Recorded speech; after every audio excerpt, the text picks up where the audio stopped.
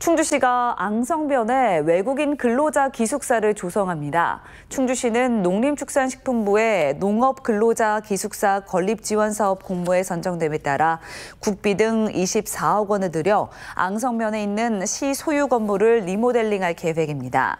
농촌 일손 지원을 위해 입국한 외국인 근로자 48명을 동시에 수용할 수 있는 규모로 2027년 완공을 목표로 하고 있습니다.